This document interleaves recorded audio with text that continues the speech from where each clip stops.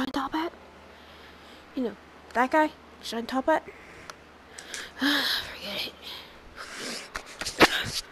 Oh, what the f- Mmm. Mmm. What's poppin', Logan? It's your boy, Logan Paul. I got new clothes. Sorry, I got tased 73 times.